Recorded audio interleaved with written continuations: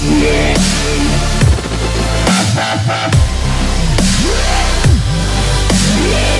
Yars intercontinental ballistic missile launcher drives during the victory parade marking the 70th anniversary of the defeat of the Nazis in World War II, in Red Square in Moscow, Russia, Saturday, May 9, 2015. AP photo, Alexander Zemlianichenko Russia test fired its advanced RS-24 Yars intercontinental ballistic missile Wednesday, the Russian Defense Ministry said, amid rising tensions between Washington and Moscow.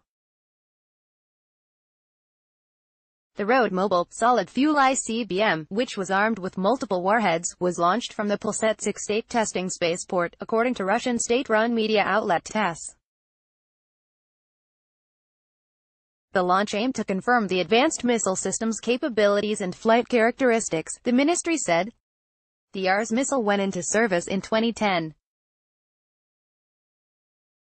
It can be either mobile or silo-based, and is a multiple independent re-entry vehicle, or MIRV, replacement for the older Topol-M missiles. With a range of nearly 7,000 miles, the Yars was designed to beat enemy missile defenses.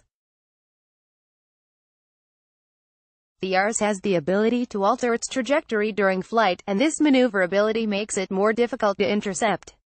It can also deploy active and passive decoys, countermeasures that make it more formidable. And then there are, of course, its multiple warheads. Russian Defense Minister This coupled with the fact that the Yars only take seven minutes to launch poses serious threats to the missile defense system used by the U.S. to protect its homeland and its allies, according to the Missile Defense Advocacy Alliance. The RS-24 is a vital part of Moscow's effort to increase the survivability its nuclear forces and to counter missile defense systems being deployed by the United States. The latest test comes just a few weeks after the release of the Trump administration's Missile Defense Review, a document highly criticized by Moscow, and just days after the collapse of the Intermediate-Range Nuclear Forces INF Treaty, the last line of defense preventing a major nuclear arms race, from which the U.S. withdrew over alleged Russian violations of the Cold War-era nuclear arms agreement. As he ripped up the INF Treaty, President Donald Trump warned the U.S. will move forward with developing our own military response to Russian moves.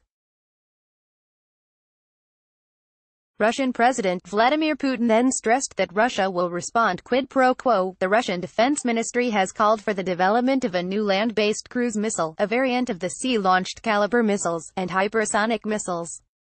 There are also reports that Russia is again testing its much-hyped Revesnik nuclear-powered cruise missile, although Moscow apparently has yet to achieve success with this new system.